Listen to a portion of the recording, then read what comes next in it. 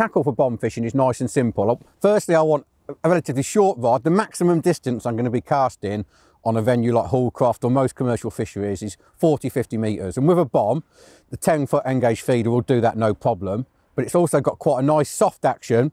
So it's forgiving when you play fish, but a little bit of power in the butt for casting. So the 10 foot N-Gage feeder rod. Quiver tip is one ounce, which to some watching this will seem a little bit light, but bomb fishing for me is all about indications and knowing where the fish are. So light quiver tip, fish nice and slack, I don't want a, a bowstring line running through the sw swim with the tip locked right round. So slack tip, one ounce quiver, so I can see all those little line bites, which you could hopefully tell me where the fish are. Main line, six pound Pulse Pro on a 4000 Aventus reel. My actually setup itself is dead simple. Just literally nice little running rig. I've got snap link swivel down to a speed bead. The speed bead just acts as a buffer. So nice and simple running rig. The rules here do dictate you have to fish a running rig, but this is a rig I'd quite happily use on any venue in the cold. So speed bead, which gives me the ability to quick change my hook length. Again, something that's really important with this style of fishing.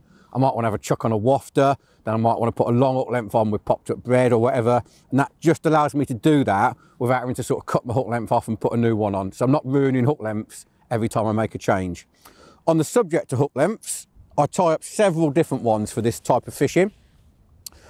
I've got 75 centimetres, uh, basically a long hook length for a wafter. What I'm a big believer in is visibility. So a slow falling hook bait. I don't believe short hook lengths on the bomb are the one unless I'm popping up directly off the lead. So long hook length, 75 centimetres, I can shorten that. That's like 017 is my sort of standard, 017 N-Gage is my standard line for carping size 12 QM1, and I've got a variety of different hook lengths depending on what I'm going to be doing. But for carp, they're all on 017. The only, most of them have got QM1s. The only difference one, and this is my sort of like, if it's really tough and I feel like the fish are just watching the hook bait, size 14 Super LWG, 017, 50 centimetres, and I just hair a wafter on that, but I trim it.